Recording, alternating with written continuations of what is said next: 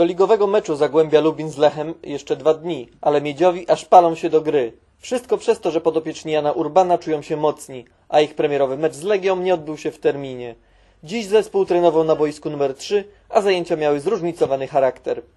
No tak, szkoda, bo chcieliśmy rozegrać to spotkanie, no ale warunki były takie, a nie inne i było niemożliwe na tym boisku zagrać e, mecz, dlatego pierwszą kolejkę mamy w piątek z Lechem i mam nadzieję, że zwycięską. W zespole panuje doskonała atmosfera, która przecież przekłada się na wyniki.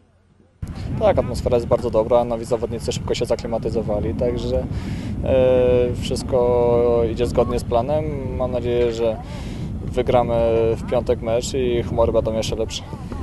Zwycięstwo w meczu z Lechem uraduje kibiców i piłkarzy Zagłębia Lubin, dla których dodatkowo bramka stanowiła będzie powód do celebrowania faktu, że Maćkowi Małkowskiemu niedawno urodziło się dziecko. Będzie ta przysłowiowa kołyska? Najpierw musimy strzelić bramkę. Jak strzelimy bramkę, to na pewno wszyscy zatroszczymy się o to, żeby tą kostkę zrobić.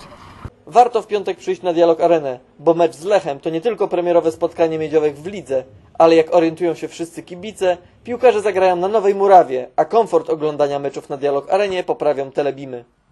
E, No tak, e, liczę na to, że kibice będą nas wspierać e, od pierwszego meczu do ostatniego i no, wiem, że tak będzie. E, Na pewno nam to będzie pomagało i my naszą postawą będziemy starali się tak samo ich zadowolić.